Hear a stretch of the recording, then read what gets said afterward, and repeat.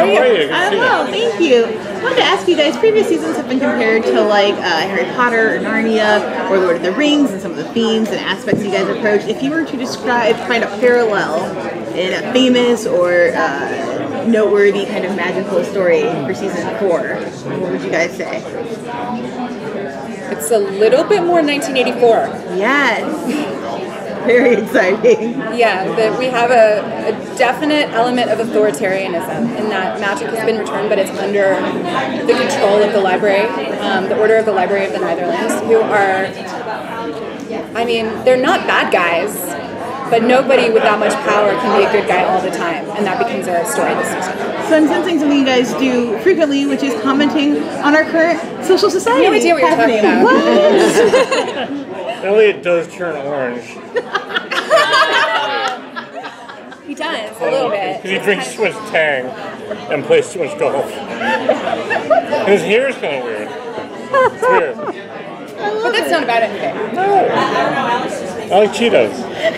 There's like Cheetos, everyone likes Cheetos. How do you approach that kind of storytelling where you want to be relevant and shoot it be political, but stay in Um, you know, we just try to be honest.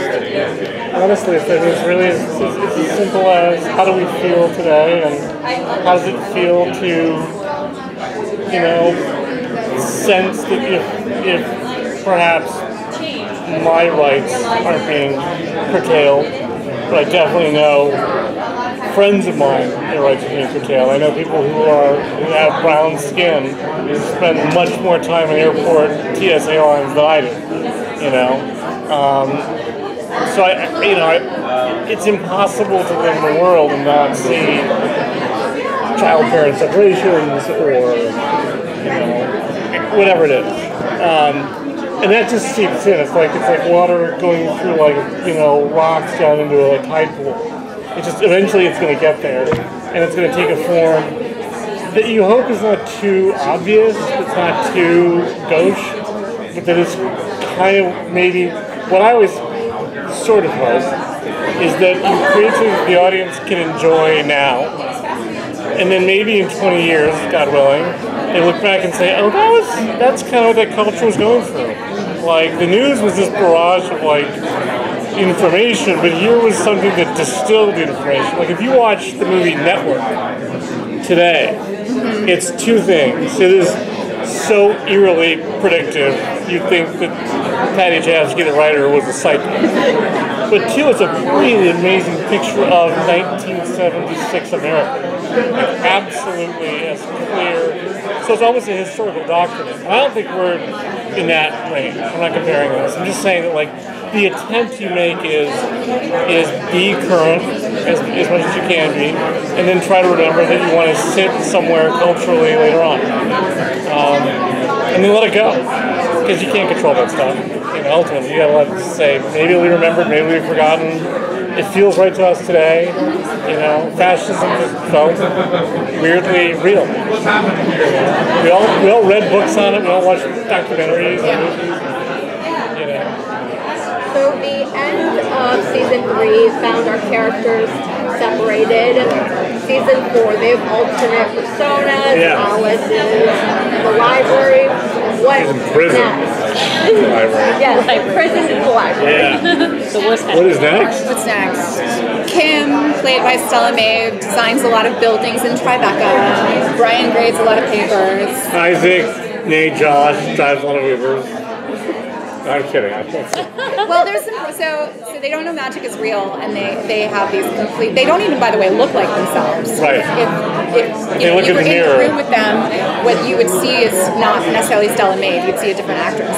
Um, so that was a particular challenge of shooting at the beginning of this season. But magic is coming for them, and uh, so there's it's sort of like these um, these witness protection identities are on a collision course with the monster um, that is inhabiting Eliot. And as you say, indeed, there's uh, Alice. She's in prison. She knows what's up, and she desperately wants to get out so she can help. So, what was the process behind deciding to do different actors in those alternate? We just wanted the idea of magical witness protection to be logical. like if I'm gonna really be hunted by the library and I'm gonna have like the name Bob Smith, I shouldn't look like this because there's a wanted poster. So I should look like Brad Pitt, Okay. That's or what Tom Cruise, stand-in will look like. Daniel Craig, Daniel Craig. Pee Wee Herman. Uh, musical episodes have become sort of a, a fan highlighter. We get excited and we wait for them. Can we expect a musical episode this season? Yep. Can you clue us in to the music? Are we, is it another musical or, or more pop songs? We're not at liberty to say, but can you see how delighted he is? Yes. I wish I was stroking a white cat right now. There's a lot of freedom for this one. It Yeah. sort of organically popped up. We didn't feel beholden to do it, and I mean, John knows that I would just as soon skip a year. But um, but there is imagine how these would go if you're like, no, no, there's no fucking musical. You'd never get out of here alive. It's like then I'm the bad guy of the music. Like Sera won this year, no musical. Um, You're like Alice at the end of season destroyed all the Sera. Let's talk about it. um, the one thing I'll say without spoiling too much is that uh, there is an episode this season where the circumstances that one of our characters finds themselves in is highly hallucinatory, and that just seemed to us to be a good reason why people around them might sing, and they will. They will sing a lot. Why are you so anti-musical? I just there are musicals that I love. First of all, he tortures me with them. He t- fucking tortures me with them. I'm He sure loves really, them so I'm sure really bad ones. Um, I just I don't know. I love theater, and there are many Hyde. musicals that I love. I don't consider myself like a musical theater junkie on the merits, though. I feel like as a as a construct, I don't know why people are singing about their feelings. It kind of irritates me. so there are certainly many musicals that transcend that, right? There are some that I that have come out in the last couple of years. I've seen more than once. Even I love them so much. But um, but generally speaking, yeah, Hamilton, Dear Evan Hansen. I mean, there's some low hanging fruit that's exceptional. But as a rule, I'm sort of like, why don't you just say what you mean? Why are we singing and dancing right now? I'm too uh, I'm just too golf for musicals. What about, what about golf musical? I might be into that. Maybe season five. Hope for season Just, five. it's just the Smiths. John's like, this one's on you, and just walks out of the room.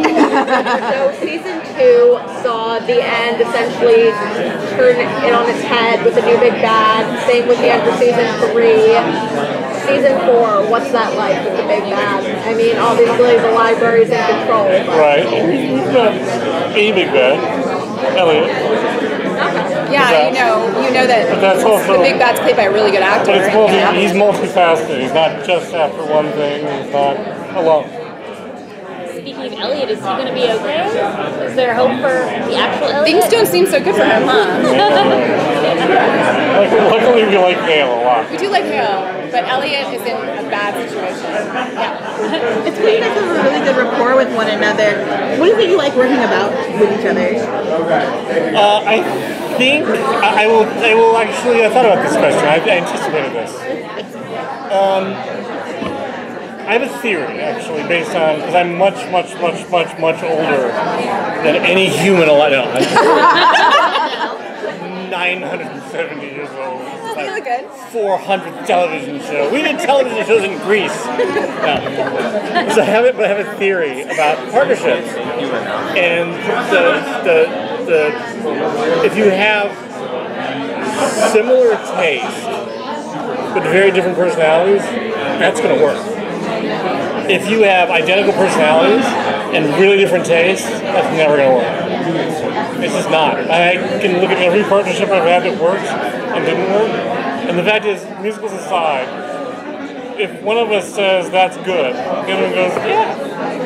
You know? But we have really different personalities. We have different backgrounds. You know, we have different, just very different people who happen to just like the same stuff.